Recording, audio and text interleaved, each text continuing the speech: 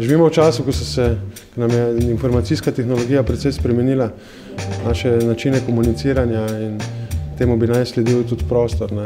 Zdaj, te stvari se počasneje odvijajo, kot bi človek pričakoval, zato, zato je nujno na nek način razmišljanje, ki ga predstavlja vaš seminar, se pravi out of the box.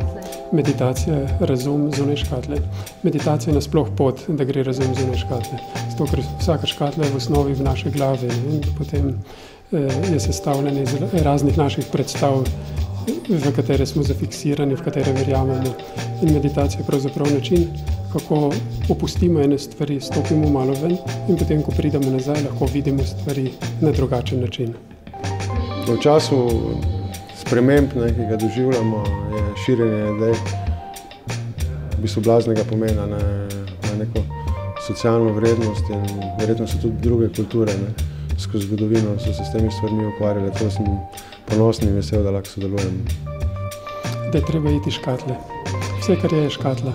In ko gremo ven iz škatle in pridemo nazaj, lahko nekaj spremenimo, tako da je koncept imeniten.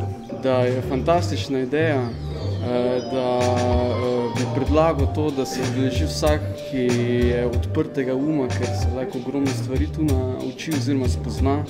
V bistvu zelo pozdravljam, da, da obstaja neka inštitucija, ki se prav ukvarja z, z širjenjem idej in jaz mislim, da bo čas sam pokazal, kakšno vrednost imajo te stvari. Tako da bravo, čestitam. Sporočilo za organizatorje, čestitam.